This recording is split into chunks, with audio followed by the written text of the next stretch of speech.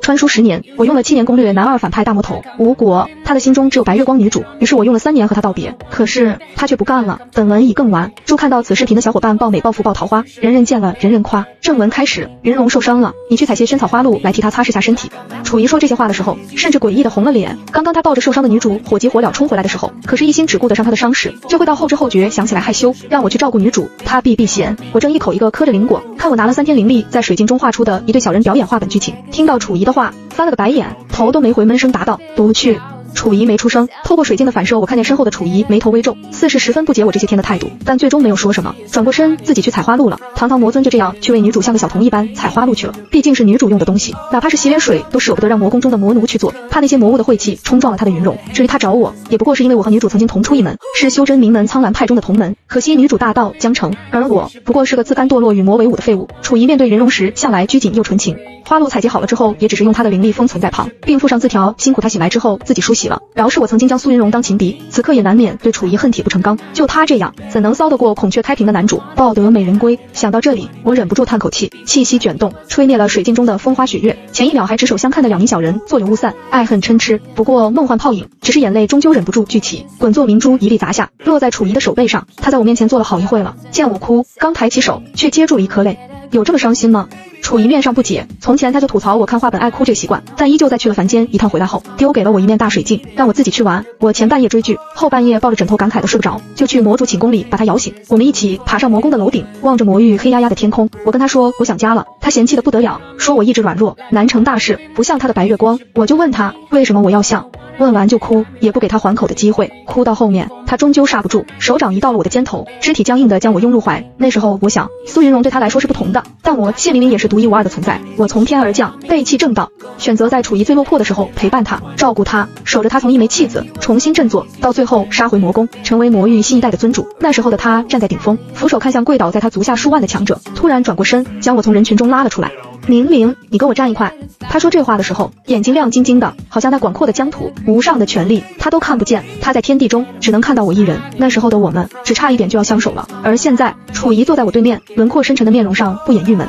明明，你觉不觉得你最近特别奇怪？看得出来，他是斟酌了措辞之后再开口的。放在以前，他会直接问我又在发什么癫。哦，是吗？我没了和他斗嘴的心情，随便应了一声，收起水镜，起身就要离开。慢着。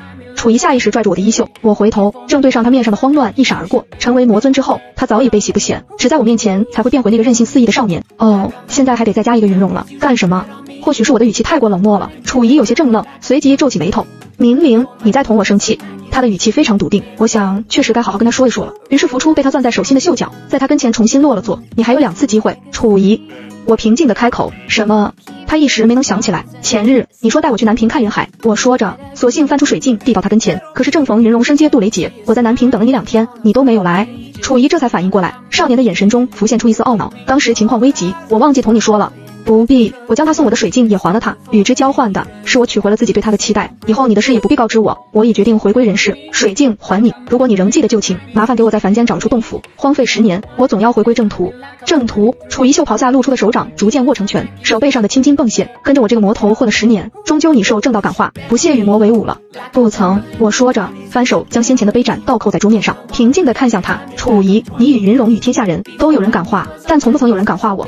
我只是单纯的不再对你有期待，楚仪，你还有两次机会，下一次我会收回我的信任，我们分道扬镳。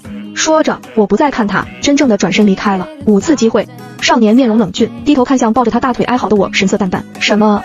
我仰着头望向少年时的楚仪那张又帅又拽的脸，当时的我刚刷完这个小说，对文中为女主一腔无悔付出的狼狗反派男二落进了眼泪，以至于当我一穿进书里看见他时，直接一把鼻涕一把泪的冲了上去，一口一个子仔，要他照顾好自己，不要总是为了他人着想。彼时的楚仪刚被暴露出魔族身份，一夜之间从正道顶峰门派中的天之骄子，变成人人喊打的过街老鼠，被一众嫉恨他的人围杀，退无可退，选择彻底激活血脉堕魔回归魔域。而我就是在他堕魔前穿了过来，抱着他的腿一个劲哭。楚仪正是心灰意冷的时候，连杀我的意志都没有，只是从我的话话语中和他觉得我看。起来不聪明的神色上，觉得我大概是真心为他好的，于是给了我五次机会，五次机会取得他的信任，从此以后我就可以跟在他的身边。想到这里，我不禁笑了一下。我比楚仪大方多了，在放弃他这件事上，我给了他五十次机会。后来我就真的一直陪着他，叛离了宗门，跟着他浪迹天涯。一起摘野果，躲追杀，缩在天之涯的山洞里，一边烤着野兔，一边望向无垠的海面。我身边的少年容色惆怅，我就编些没头脑的话逗他开心。终于，身边的少年重新活了过来，开始和我斗嘴打闹，开始接受这样平平淡淡的生活。一直到追杀我们的人找来了天之涯，我被他们挟持在手，为了折辱楚仪，他们一片一片剐掉了我身上的肉。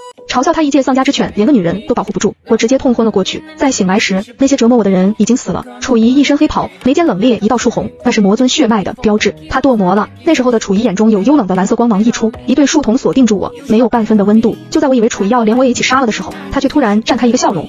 明灵，这天下无人能再让你受伤了，这是魔对我许下的承诺。那些折磨我的正道修士，在死前被楚仪抽干了的修为全部归了我，我挨了一顿剐，白得了五百年修为，自己也心虚的很，只敢学些保命溜号的功夫，不敢用他人的修为去伤人。毕竟有楚仪在，天下无难事。尤其是在他登基为魔尊后，我已是众人默认的魔后，再也没人敢为难我。反正，在云龙出现之前是这样，苏云龙是在楚仪当上魔尊后的第三年出关的。当初楚仪出事后，他就闭关修行，如今在现世已是修真界中当之无愧的同辈第一人。而远在魔宫中的楚仪，在听见苏云龙的消息后，开心的睡不着。他。同我说，云龙是掩藏在他心中的最后一点温情。那时候我心里头已经对着楚仪生了妄念。听了这话，瞬间化身酸鸡，满嘴醋味的追问他：“那我呢？我呢？”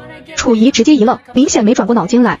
不懂我为什么要拿自己和苏云荣相比？毕竟在他的眼中，只有他的这个前未婚妻是女人，其他的人都是路人。良久之后，他憋出来一路：“你，你是我小弟。”我看见他深色长靴鞋尖的布料蠕动两下，委实没想到我这个问题把楚仪尴尬的直接脚趾抠的，心头也难免有些失落。恐怕楚仪在那之前都没有意识到我是个女的，还是个俏生生的姑娘。为了这，我三天没和楚仪斗嘴，楚仪挨不住寂寞，就又偷偷跑去小迎风看他的云容，追念他们逝去的爱情。终于在半个月后，亲眼目睹了苏云荣和男主韩愈花前月下。楚仪黑着脸回来了。那天晚上，楚仪一个人坐在魔宫顶上，仰头望了整夜的月。但死气闷沉的魔域又哪有什么月亮？楚仪不过是在抬头望他的心上人。他实在想不明白，他和苏云荣的婚事是总角石定下的。当初他被查出魔族血脉，被逐出师门后，这个昔日的天才，门派中的翘楚，变得人人都可来踩上一脚。只有苏云荣不对他落井下石。在他只剩一身白衣离开宗门时，为他撑一把伞，一路相送到山门之下。楚仪说他永远记得那个时候，云荣就像是一束光，留在了他的心底，让他不至于对这个灰暗的世界彻底绝望。那我呢？我又问他，跟着你吃苦挨打的是我，陪你。亡命天涯的是我，去了半条命去为你采药的是我，抱着重伤无知觉的你哭到半夜的也是我。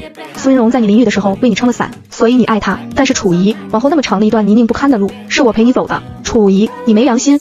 我说着，泪珠滚滚从眼眶落下，一颗又一颗砸下，浸湿了我的金口。楚仪没有回应，他早就醉了个彻底。此刻靠在我的肩头，浑浑噩噩说些醉话，浓染的酒味将我包裹住。我抽噎着哭，气息快要续不上，但我的心头更多的是一片沉重的茫然，压得我几乎喘不上气。我突然想起来，我来到这个书中的世界已经七年了，可我没有亲友，没有事业，没有理想，我只有一个楚只能守着他，看他为别人伤怀。我或许是混得最差的穿越者了。在那一刻，我对楚仪的依赖产生了动摇，我开始疏远楚仪。我给了他五十次机会。我虽然脸皮厚，是舔狗，但终归也是个活生生的人，心被伤到时也会觉得难过。我想。从今往后，楚仪每让我伤心一次，我就要从他那里收回一份爱。等到五十次机会用完，我就不要楚仪了。第一次的时候，是楚仪为了云龙同男主征战，男主有天意加身，楚仪再强也斗不过他。眼见着他被男主逼到绝路，一旁的女主只能在两个男人为他设下的守护结界中着急。而我就不一样了，我冲进了战场中，从后面扑住了楚仪，想要阻止他用出会反噬自身的禁招。也就是那时，在结界中的女主受到了一直嫉妒她的同门师妹的偷袭，三尺清风刺破丹田，女主齿关咬紧，仍旧溢出一声痛呼。就那一声，烧尽了已在极端状态中的楚仪最。后一点理智，她在大脑做出反应之前，已经一掌将我灌飞。我瞬间腹脏剧烈，口鼻鲜血四流，摔进了一旁的枯草堆里，挣扎了几下，没能爬起来。再醒来时，人已经躺在魔宫里，眼前是楚仪愧疚的脸。我不想搭理他，演一番继续装昏。听说我甚至不是楚仪带回来的。当时他和男主同时冲向女主，女主本能的向男主递了手，楚仪如遭重创，整个人定在了原地，除了鲜红的秀妹随风而动，她几乎快成了一块石像。她终于意识到了这样的争端没有意义，因为当云龙不爱她时，无论如何她都是输家。楚仪失魂落魄的离开了，并且没有带上。我我是被昔日派中同门悄悄送回去的，毕竟我是魔尊的走狗，留在那里早晚被正道人士骗了煮火锅吃。当时的我气息奄奄，靠在他的臂弯之中，听见他惊讶的感叹一声，竟不曾入魔。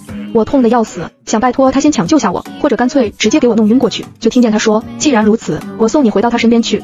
他以为我跟在楚仪身边是为了感化楚仪，我不是，我只是男二的妈妈粉。在实境相处数年之后，对男二母爱变质。我为了阻止楚仪玩命，把自己的命都赌上了。楚仪却为了女主把我打成了这猪样，他自己心里都过意不去，一个劲的跟我道歉，还问我要不要干脆剁个魔，这样他好分我一半修为，然后再划片封地给我。说实话，我没兴趣，我只有一个愿望，是什么？你说就是。楚仪开口问道，他看起来真的很愧疚，恨不得马上为我上刀山下火海，不要再见苏云荣，就这是我的要求。楚仪沉默了，他想起了一些事情，如星般璀璨的眸子一片灰败。过了许许久，他才开口答应。好，我却觉得没了意思，朝里面偏过头去，滚。楚仪站起身来，沉默着走开，直到他要出店门时，我叫住了他。楚仪，我说着，调整着呼吸，想要掩饰心痛，颤抖的鼻音依旧出卖了我。我问他，只有苏云荣的痛才算痛，我什么都不是，对吗？良久的沉默。抱歉，我听见楚仪说了这一声，脚步慌乱的消失在了店门。这是他失去的第二次机会。我从楚仪那里取回了对他的担忧和关心。楚仪也察觉到了我对他态度的转变，开始有些不适应的恐慌。于是楚仪做什么都要把我带在身边，说话时也故意激我。一直到我同过去班和他斗嘴还击，他才偷偷松了口气。可是很快，他又因为苏云荣被人下毒昏迷，只身去闯了极北之域，孤身挑战凶兽穷奇，只为取得碧云之花，解苏云荣身上的毒。他吹了一口气，将碧云花送去苏云荣的窗外，随后昏倒在地。正道修士哪肯放过这个机会，设下阵法就要将他诛杀。危急时刻，是我率领八千魔众攻上苍兰门，将楚仪抢了回去。就这样，在修真界所有人的见证之下，我攻打了我曾经的师门，断送了我回归的最后一丝可能。大军撤退之时，当初那名曾经送我回魔域的同门站了出来，他只送了我一句话：情至极必伤。上一次临别时，我在他心中还是个光辉高大的形象，而如今，我只觉得自己那点不堪的小心思全被人看穿了。我逃回去的姿态很狼狈，而醒来后的楚仪只问了苏云荣的状况，他毫不关心自己是怎么回来的，也不在意我去救他经历了什么，他理所当然的认为有我在，他永远不需要担心太多，包括担心我。不，你要学着去顾全大局，而非一味的猛攻浅冲。我说着，将剩下的那点碧云花摆在他枕边，我不会再帮你善后了，楚仪，你要学着自己去成长。这一次，我拿回了自己对他的幻想，他就是一个长不大的少年，哪怕身世坎坷，经历颇多，却始终率真而幼稚。可惜他将率真给了苏云龙，只把幼稚留给了我。就这样，楚仪尽情消耗着我给他的机会。起先他怕我离开，总想在因为苏云龙而辜负我之后进行补偿。后来他发现我也不过是冷冷脸，或者将他送我的东西退回去一些后，心里便少了些紧张。他总以为只要处理完了苏云龙的事后，我与他还能是从前那样。一直到现在，三年光阴又过去，楚仪只剩下两个机会了。可我想我已经知道了结果。我一直在思考，我和楚仪之间究竟是谁更加离不开谁一点。从来我一直认为是我离不开他，毕竟我独自漂流于异世，身无长物，唯一能做依仗的就是被我紧紧抱住大腿的男二。可是。后来，周围的人都说楚仪依赖我。比如现在，我在收拾行李，准备离开魔宫的时候，一直以来对楚仪忠心耿耿的部下替他闯了一回我的寝殿。红衣烈烈的魔族女将军，名唤初离，曾经短暂的爱慕过楚仪，后来却放弃了。他曾经直白的跟我说过，楚仪不是良人，他已是魔族，心中却装着正道魁首的亲传弟子，在感情上这般拎不清，不是个值得去爱的人。楚仪值得他追随，却不值得他追逐。说完，同情的看了我一眼，他说：“你脑子也有泡，明明是个正道的修士，既不肯入魔，却天天跟魔族混在一起，小心日后同楚仪决裂，你哪一方都回不去。”初离看得很透彻，事故一语成谶。而现在，他还必在店门口挑眉看我。我劝你息了这心思。什么？我停下手中动作，看向他。正道那群乌合之众们现在找不到苏云荣，都以为他被魔族害了，而今个个杀气腾腾。你敢冒头？不出三个钟头，就会让人抓走，绑起来抽鞭子泄愤。所以我需要你帮忙。我望向初离的目光平静万分，以至于他到现在才发现被我套路了。你想做什么？初离难得正色，垂下手臂，严肃起来。我可不会为了你去触楚仪的眉头。他话是这么说，可他逐渐热切的眼神却出卖了他。毕竟从苏云荣现世把楚仪的神魂都牵走之后，初离就成了整个魔域中最想找楚仪麻烦的人。帮帮我！我只能语调平静的恳求他，送我去极东之地。我有什么好处？我看着眼前人幸灾乐祸的眉眼，有些无力的牵起唇角，随即催动灵力，一枚玉牌出现在掌心之中。灵隐玉归你。灵隐玉是世间至宝，能够替人洗髓，在不伤根基的情况下化去一身初始灵力，之后再可由催动之人选择第二次机会，是成魔或者修仙。楚仪刚察觉自己的魔族血脉时，曾付出了极大的代价得到了这块玉牌，可惜还未曾来得及替自己洗髓，他的身份便被当众揭示。紧接着的便是众叛亲离，楚仪成了正道之中人人可欺的存在。他再没有变回去的心思，只是留下了这块玉牌，因其足够珍贵，楚仪选他做了我和他的结契之物。当初我跟着楚仪，委实天天经历腥风血雨，为此我向楚仪求了个守护的承诺，此玉牌一日在我手中，楚仪便会保护。我也不与我分离，当然，这也是楚仪给我的第二次机会。因他那时谁都不信，总以为我也会离开他，所以我保存灵隐玉一日，我们的关系就在一日。一旦我和他分道扬镳，也可以用灵隐玉洗去一身魔气离开。当时的我被楚仪的温柔狠狠感动了一把，对此玉牌珍惜至极，用我半吊子的灵力连夜将玉牌炼化，藏进了我的心口里。若非我自愿拿出来，外人若想强夺玉牌，只能将我杀后剖心才能得到。而在那之前，他们需要面临的是和我结契的楚仪。而现在，我随手一抛，玉牌稳稳地落在了楚离手上，随之而去的是我身上的一道流光溢散。我和楚仪定下的契约失效，快走吧，一会那个恋爱脑就杀过来了。楚离得了好处，办事毫不拖沓，拉起我就要离开，他不会来。我最后一眼抬头，望向了魔域黑沉沉的天空。抛下心中最后一丝留恋，苏云荣醒了，他不会过来。当初我和楚仪亡命天涯，真亡命天涯。我们一路逃去了天之涯，都没有想过去极东之地，原因无他。极东之地是这座大陆上玄乎其玄的所在，同去者不能同归，而只身前去者有去无回。初离只将我带去了极东之地的结界之外，再往深处，他也不愿意进去。我活得好好的，才不去这个鬼地方寻死。初离说着，转身就要走，临了时又回过头来，谢明明，你可别就这么死了。我只是笑，不做回答。从前我爱和楚仪斗嘴，也同楚离打闹。我们两人从情敌间的针锋相对，到后来的臭味相投，可惜终究不能交心。他是魔域的将军，我是跟在他尊主身边无名分的女人。他的地位越高，就越忌惮我。楚仪不是个合格的尊主，他从未把魔域的将来和自己挂钩。背负起这一切的人是初离，初离大概有些失落，沉默着转身离开了。而我一回过身，望着一片死气沉沉的岛屿，极东之地的上空有着无数大小各异的黑洞深渊，它们乘着风脉中的气息无规则的流转，一次只能通进一人，而哪怕是前后紧密相随进去的两人，进去之后也会瞬间走散。这大陆上千年来流传下来的说法是，极东之地上的这些洞渊是连接三千世界的通道，它们内部的入口在时刻切换着，一旦走进去，就再也找不到回家的路了。所幸我本来就不是这个世界的人，且这个世界如今也容不下我，不如赌一把，万一我能回家呢？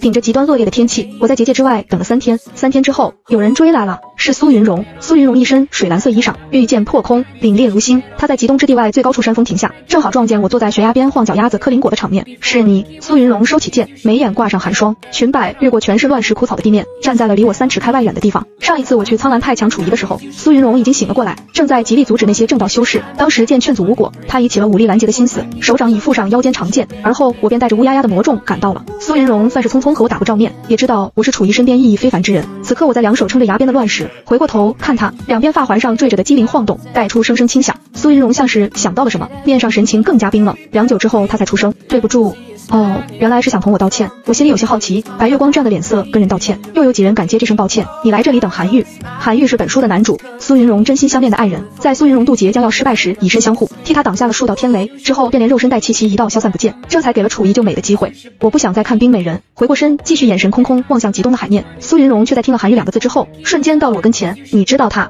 冰霜的面容上有了第一处裂痕，他为你受了雷劫，九死一生间用了护身法器，而今去了异世。若他有心回来，极东之地是等待他最好好的地方。我看过书，知道韩愈最迟就在这十天回来了。可苏云荣等不及，他日日想着韩愈可能在一时遭逢不测，失了自己的冷静，最后亲身闯进了极东之地的洞渊中，而韩愈却在他刚进去时出来，两人错身而过，又平白经历了许多曲折，才重新在一起。苏云荣听了我的话，陷入了沉默。良久之后，他把佩剑解开丢到一边，撑着地面在我身边坐了下来。我从醒来之后就一直在寻找他，若是这个世上任何地方都寻不到他的踪迹，那就只能是他不在这个世界中了。他轻声说着，顺着我的目光看向无垠的黑海。谢谢。我听见他轻声道谢。所有人都以为我疯了，唯有你证实了我的猜想。我和苏云荣就这样抵肩坐着，他要等韩愈，却没了前世的心急。我能感知到他仍然活着，只要他活着，就会不顾一切回来见我。你既然说了他在这，我就在这里等他。我呆呆地望着他，心中在想，苏云荣自己有没有察觉到，在他提起韩愈时，那霜雪般清冷的眉目中总会流转着水波般的温柔。当初看书时，我就不止一次为男女主彼此间坚定的感情动容不已，也因此更加心疼那个被全世界抛弃了，从一开始就注定在这场感情中输个彻底的楚仪。我和苏云荣在极东之地并肩坐了七天，有时候我会跃下悬崖，任朱红色的秀妹在海风中翩飞。我望向黑沉的海面，上面倒映出我的模样，诺言的脸。垂性的眸，紧绷着的唇，横波望去，始终一副倔强不肯服输的模样。刚来时我十四岁，刚刚走进高中校园，幻想着能有个轰轰烈烈的青春。而后我就在一场枯湿纸张的梦境中来到了这里，除了手中紧攥着的一本小说，什么都没有。如今过了十年，我依旧是过去那副皮囊，可心却早已老过二十四不止。抱歉，苏云龙又一次跟我道歉。上一次见你时，你率领魔军立于云端，面对千夫所指，依旧神色飞扬。他说着，突然抬手将我发边歪掉的环铃扶正。那时候的你，唯独看向楚怡时，才会现出疲惫的神色来。我是知道你对他的心意的。我本无意出现在楚怡身前，只是雷劫之时我受伤过重，他现身时我已无力反抗。我。苏云荣看起来是那么的愧疚，也在这一刻，我彻底的释怀。我从来都知道女主善良，一心向往正途。她对楚仪无意，也从不吊着她。只是楚仪身在苦寒的魔域中，始终放不下那段身在光明中的过往。尽管我一直陪着她，尽管我发脾气闹委屈，甚至大声说着我的不满，我想要楚仪在意我的感受，知道我的情绪，知道我爱她的一颗心多么的滚烫，足够去温暖她。可是楚仪漠视着身边的一切，日益偏执，眼中只剩下天际的月光。到如今，在这段感情里，头一个试着去理解我，想要抚平我满心委屈的人，是我善良的情敌。我承认，我在意识的这十年，确实是太孤单了，所以才会对苏云荣产生想要倾诉的冲动。我告诉他，我只是个什么都不会的中学生，因为心疼一个角色而调到了异世来。那个和我同名同姓的苍兰门韬会弟子突然就消失了，所有人都把我当成他，可我什么都不会，只能怀揣着巨大的秘密，在他人的怀疑中惶惶不安着。可我最后是开心的，因为我随即见到了自己日思夜想的少年。那个少年以为自己早就被世界抛弃，他并不知道，在我们还没有相见之前，有一个女孩已经偷偷喜欢他了好久好久。我还告诉苏云荣，他不需要为韩毅担心。虽然我刚到来时，因为怕被搜身查出来当做妖怪而偷偷将手中书撕。掉了。可是我记得很清楚，韩愈会在这几天就回来。苏云荣沉默着听了很久，最后将哭得快睁不开眼的我轻轻揽进怀中。你是个好姑娘，明明。他手掌一下又一下轻抚过我的后背，口中的语调温柔。我枕着他的肩，看了一整夜的月。第八日的时候，一只浑身靛蓝色的鸟飞过广阔无垠的海面，一路跃上我的肩头。我刚和他豆豆大的眼睛对视上，他就已经张开会，口中吐出出离的声音。楚仪发现你们都不见了，在魔域发了好一阵风，如今朝极东之地追过来了。让他来吧，我等着他。我轻轻叹息一声，指尖浮动，眼前的蓝色鱼鸟便在风中消散了。一旁的苏云荣看起来神色忧虑。你在等楚仪？我颔首，随即又摇摇头。我在等回家的钥匙。苏云龙听了这话，看起来稍微安定了些。他看向我，黑曜石般的眸子清冷澄澈。明明，楚仪并非良人，我祝愿你能成功回家去。并非良人，这话初里也说过。我沉默着笑笑，收下了云龙对我的祝福。海上开始刮起狂风，悬浮于极东之地上空的洞渊变得躁动不安。苏云龙放在手边的佩剑发出狰狞，掩藏在剑鞘中的冷风流光大作。苏云龙一把抓住剑柄，站起身来，风将我俩乌青的发丝吹乱。我们一道仰头，望向黑沉的天空，望向无尽的深渊。三千世界，恒河沙数，有人正试图冲破千种因果，回到所爱之人身边。也是同一时间，西方浓云滚没，风中传来熟悉的气息，那是一种令我感觉到亲和又心痛的力量。因他曾经无数次的保护过我，因我曾经。只差一点就能得到它的主人的心，可我终究没有。楚仪来势汹汹，苏云荣下意识横剑挡在我的身前，可楚仪就像看不见他，他的眼睛亮晶晶的，里面闪耀少年情窦初开时才有的光芒。他像是想通了很多事，以至于他来的那样急。向来体温冰冷如石般的魔族，此刻双颊泛上绯色，他微微喘气着，看起来内心很不安定，连额角都沁出些汗来。他想通了一些事情，现在正身处于爱中，看起来热烈又真挚。他一一下子冲到我身前，眉心那道竖红越发妖冶，他恨不得冲上来直接拉住我，却又被苏云荣相隔住，只能睁大眼睛，那般急切地问：“你以前是喜欢我，对不对？”明明，我终于想明白了，你从前爱着我。楚仪，我平静地打断他，你不是一直都知道吗？楚仪神色惨变，一瞬间像个茫然不知所措的孩子。是的，他知道的。一个人怎会不计回报的一直守在另外一个人身边呢？就像他对苏云荣从前的追逐一般，我也一直追逐着楚仪。而我们都知道彼此这样做的原因，是因为爱。是我无数次蹦上他后背，怀着他脖子甜腻腻的开口：“楚仪，我好喜欢你。”也是我眼中绷着泪朝他倔强看过去。你如果真的只能看得见苏云荣，我就会放弃你。他知道了那些话，那些心情，那些原因，可他选择了回避。在我跟他说喜欢的时候，红着耳朵凑过头回上一句：“免费的苦力你当然喜欢。”又或者双眸冰冷，朝我无奈的说上一句：“明明魔域的任何东西，你想要什么尽管提，但不可伤害云柔。他与你们不同，他知道我要的不是珍宝和权力，可他选择装傻回避。楚仪显然也想到了这一点，面色重新变得苍白。他看着我，小心翼翼地伸出指尖，试探着开口的声音像是哽在了喉咙里，酸涩又难听。他问我：明明，我还有多少次机会？结束了。楚仪，我朝后轻轻退一步，身后就是无边的海域。楚仪不敢再靠近，于是我看向他，有些恶劣的笑起来，生平头一次朝他展露恶意。我说：楚仪，你出局了。不是的，我。楚仪还想再说什么，恰逢天边数道庆雷坠下，楚仪刚伸出手，苏云荣已经揽住我的腰身，纵身避开。滚轮般巨大的轰响声从天际传来，极东之地上方的洞渊开始快速的轮转，这方天地被搅成一片混沌。苏云荣身后的佩剑躁动不止，我盯着那光秃秃的剑柄，一刻也不敢分神。终于，天际现出了那道水蓝色的长印。韩愈紧闭着双眼，自云端坠落而下，云龙赶紧飞身上前接住了他，两人蓝色的衣袍交织在一起，几乎看不清谁是谁，而我也施法掐诀，飞身上了半空，穿破流云，我到了两人身前。这一次，我看得清清楚楚，昏迷中的韩愈。宽大的袖袍之下露出半截剑穗上的流苏，是和苏云荣的佩剑一样雪白如霜的颜色。此刻上面正附着一层奇异的光芒，在狂风中朝着苏云荣的方向飘动。我想我找到想要的答案了。下一秒，强撑着的灵力耗尽，我闭上眼，任由自己从云间下坠，一直到落入那个熟悉的怀抱，那样温柔的力道，小心翼翼地将我护在怀里，仿佛怀中拥着的是稀世的珍宝。穿云珠，你也扔了吗？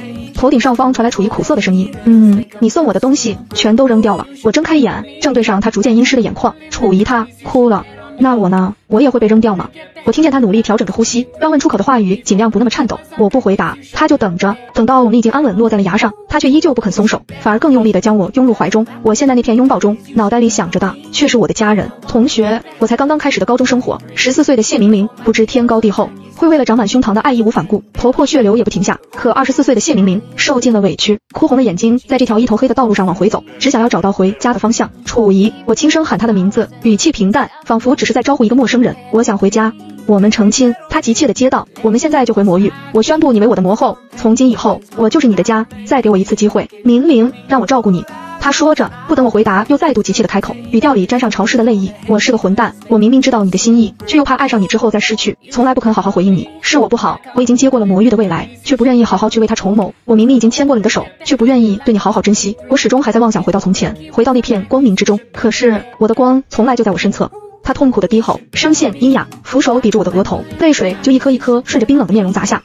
明明，而今的我是因为你才存在的。如果不是因为你在身边照亮我，我的眼中根本看不见世间任何的美好，我只会是一尊仇恨的傀儡。可我因为你而窥见了世间美好，却想要抛下你去独自追寻那些。我只是平静的听着，像是在听于我之外的事情。楚仪被这样的眼神刺伤，像是为了证明自己，他慌乱的抓过我的手，置于他的心口处，再给我一次机会，明明就最后一次，求你让我带你回家。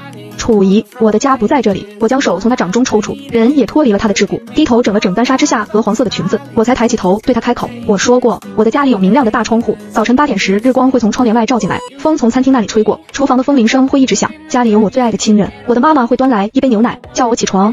我描述着在记忆中回放了无数遍的这些美好，不是楚仪一寸寸灰败下去的神色。至于机会，终于我从回忆中挣脱出来，再次正视他。楚仪，我给过你五十次，变相生于瞬息间，小心。在我堪堪感应到身后劈来的疾风时，楚仪已经拉过我，台掌挡在了我身前。我抬头望着那道独自飘扬于洞渊前的蓝色身影，韩愈神情冰冷，空洞的眼神中泛出悠悠蓝光，同当初楚仪堕魔时一样。只是他身旁裹挟着的能量，却是当初楚仪所有的千百倍之上。这已经不是一个人或者一个魔所能拥有的力量了。韩愈仅仅是动了动手指，气云风龙，天地万物皆会为他所用。我在这样的威压下，生生呕出一口血来，想要抬手用拇指拭去唇边朱红都做不到，意识一片炫白。下一秒，楚仪毫不犹豫地迎着威压攻了上去。他最终还是对着韩愈用出了魔族的禁招，燃。烧修为，燃烧生命，足够焚裂天地的一击。韩愈身形摇晃两下，颇为忌惮地朝楚仪投去一眼，随即消失在洞渊前。我擦擦唇边的血，站了起来，看了一眼空中逐渐失控的楚仪，他也看见了我，目光中有着隐约的期待。我没有理他，转身跃入海面，寻找苏云荣的踪迹。等我将腹部被洞穿的女主捞上悬崖时，楚仪也已经退了回来。按他往常不管不顾的性格，早就应该追着韩愈冲了上去，如今竟然能够克制住自己，老实回来，真是奇了怪了。楚仪站在一旁，小心地看向我，一缕血痕从他唇边溢出，又被他沉默着咽回。他一身红袍比来时更加鲜艳，这衬得他皮肤越发苍白，隐约可以看见他颈上蓝色的经脉正在气息的暴冲下膨胀回流，光看着就十分的痛苦。他用的这一招魔性一旦被彻底激发，要么将对手杀光，要么将自己战死，不会停下来。可现在楚仪忍耐下来了，他对上我探究的眼神后，又轻轻别过头，画出传讯青鸟，通知在魔域中的初离进行戒备。他终于学着去扛起责任，去做好该做的一切。在他发现我不会再追随在他身后之后，我终究和楚仪回了魔宫，是为了照顾受伤昏迷的苏云荣。经过魔域入口时，周围边防已经全面戒严，初离一身戎装，于关口处镇守。不知道是不是我的错觉。当他看见我跟着楚仪回来之后，面上是一闪而过的恨铁不成钢。我没有同他过多地解释，我现在有两件要紧的事急着要处理：一是等苏云荣醒过来，向他解释之后剧情的发展。被我盘包浆的原著里并没有韩愈堕魔这一段，但我毕竟是细节狂，大概能猜出之后一段时间的走向。我得告诉苏云荣，以免他冲动之下做出傻事。第二件事，则是我需要从楚仪那里拿回我最后一样东西，非常重要的东西。也正是这个原因，让我应下了楚仪的要求。他一身绯红长袍，玉簪墨发，眉目如新，此刻站在我面前，小心翼翼地藏起他的无措，面上只柔软的示好，同我成亲。哪怕只是骗骗我，我坐在相连罗帐垂枝的锦榻上，看他俯身伏在我的膝头，泱泱开口：“明明，再待我好一次，像从前那样。”楚仪的心伤未愈，面色如高山上的霜雪一般苍白，他喉结微动，咽下回冲至喉头的鲜血。少年仰起头，那张精致的面上依旧棱角冷峻，却已失去了浑身锐气，只能卑微的、讨好的向着我乞怜。他说：“明明，我只有这一个要求，让我能够娶到此生我唯一想要给他一个家的姑娘。”在我点头的瞬间，楚仪黢黑的眸子瞬间重燃了星光，他欢喜极了，吩咐下去，要整个魔域同庆，大办这场婚宴，他要所有人都与他同乐，恭祝他娶到了自己心爱之人。我偏过头去，目光落在织锦被的一角上，不再看楚仪的笑容。毕竟我虽然点头，但楚仪却不能如愿。楚仪这场婚事操办的隆重，但也确实来得急切。只是在第二天，我便被围在了寝殿中，被他披上大红色的嫁衣，周围的魔士在替我点妆时，特意在我眉心处也画上一笔竖红，水透乌黑的瞳，干红的唇色，高挽的乌鬓，环佩绕身，流苏垂绦，殿上的最后一点稚气被凤冠上垂下的。珠帘荡去，我头一回见自己穿嫁衣的模样，也觉得新奇的很。我忍不住对着铜镜看了又看，毕竟以后或许就再也看不到。正在我直接把镜子拿过来捧着舍不得撒手的时候，云荣醒了，我赶紧丢了铜镜去见他。云荣醒来第一件事就是抓紧佩剑，挣扎着要起身去找韩愈，随即又因腹部的伤口过重，重新倒了回去。看见我进来时，他忍不住眼睛一亮，韩愈不会有事的。我屏退了左右的侍从，这才凑过去朝着云荣开口，他堕魔了。云荣看起来有些激动，我看见了，没关系的。我赶紧伸手安抚他，韩愈确实会没事，他有天运加身，只要人在这个世界中，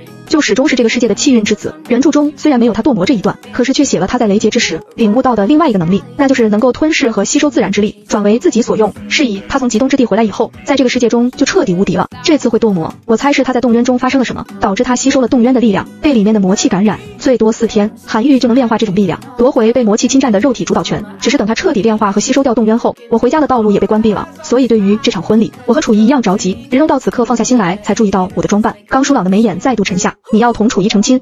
我点点头，想了想又摇头。我想回家，楚怡那里有一样很重要的东西，任荣，我需要你帮我。我大概理解楚怡的心情了。从前我一心爱慕楚怡，恨不能时时刻刻都待在她身边。那时候的我欢喜非常，楚怡却总是抬头望着月亮。到如今，隔着朱红色的盖头，我亦能感受到楚怡炽热灼灼的目光，但我心里头却已经无暇去感受她迟来的爱了。我想着明亮的教室，干净的书本，会有阳光透进来的卧室和妈妈温暖的笑容。我想得发疯，手放在膝头，不知不觉攥紧了衣裙，眼中泪珠盈眶。楚怡停在在我面前，他如今真是我。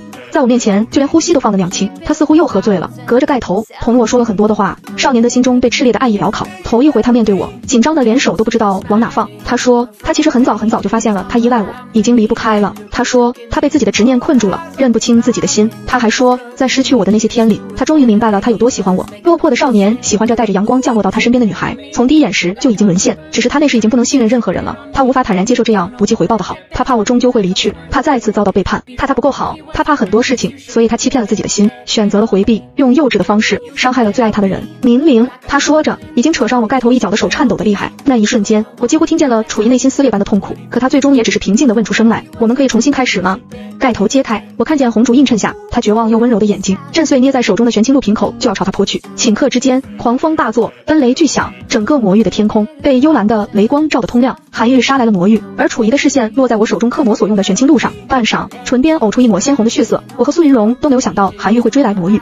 他降临魔域，直奔魔宫而来，路上飞身劫掠，所过之处，因为有楚仪事先的不守，倒不曾造成过什么伤亡。而此刻，他眸中燃着悠悠蓝火，出现在我与楚仪的婚房之外。楚仪抬掌开去唇角血迹，二话不说上前变攻。只是他掌中挥出的那摧天震地的威能，却不曾打伤韩愈半点。他只是站在店门口，眸光悠悠地盯着我。确切来说，是我腰间挂着的那一串流苏，这是云容替我编的，是他送我的礼物。这上面有云容用术法附上的祈愿之力。我赶紧伸手去解，下一秒，那号令天地的威压再次袭来，我整个人僵在原地，仿佛被无形的空气挤压逼仄。连胸口的气息也被抽取干净，努力挪动着肢体，我爆出全身的灵力，想要挪动手指将腰上的流苏摘下，却在下一秒神识一白，大口大口的鲜血从口腔鼻腔中呛出。韩愈似乎被我这点不自量力的反抗激怒了，下一秒弥天的杀意将我包围住，我只能认命闭上眼。可预想中的伤痛没有传来，我被一个熟悉的拥抱包裹住。楚一被风暴激荡起来的发丝拂过我的面颊，触感上带出一丝痒意。我有着瞬间的错愕，抬起头时正对上楚一清澈的眼睛，他低头朝我绽开一个笑容。下一秒，韩愈的手从他胸膛处穿过，我们有契约卫士，我会保护你。